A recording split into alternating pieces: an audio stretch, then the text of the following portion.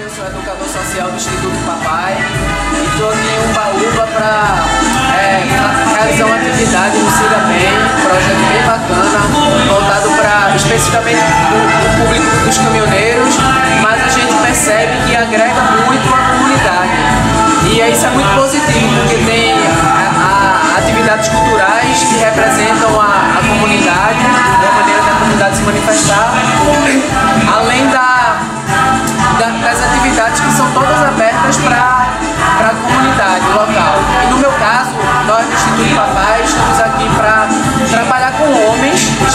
porque a gente tem uma perspectiva feminista. O que é uma perspectiva feminista?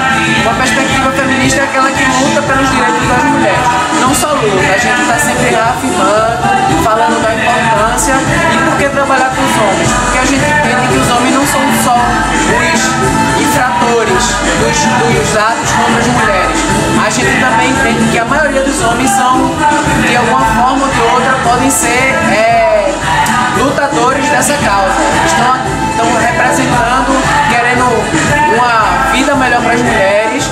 E aí a gente costuma dizer que nossos projetos beneficiam não só as mulheres, mas a, as crianças, os homens também, porque a gente costuma dizer que o machismo mata. O machismo não só mata a mulher, como também as crianças e a, os homens também. Basta ver a quantidade de acidentes de trânsito que a gente tem aí. Em sua maioria são homens as vítimas, ou também mortos por armas brancas, ou mortos por consumo excessivo de drogas. Então, de certa forma, o Instituto Papai está sempre trabalhando através dessa perspectiva, uma perspectiva feminista, que é combativa ao, ao machismo e a gente tenta inserir os homens nessa luta, tenta agregá-los, tenta conscientizá-los que são problemas sociais e como problemas sociais todos os cidadãos devem estar envolvidos.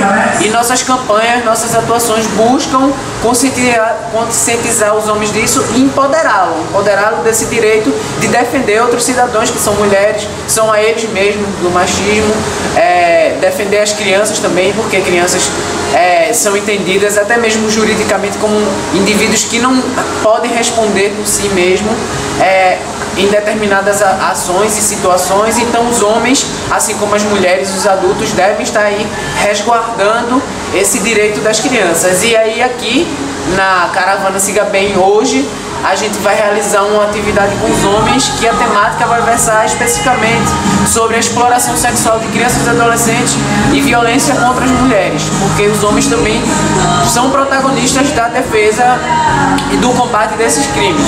É isso.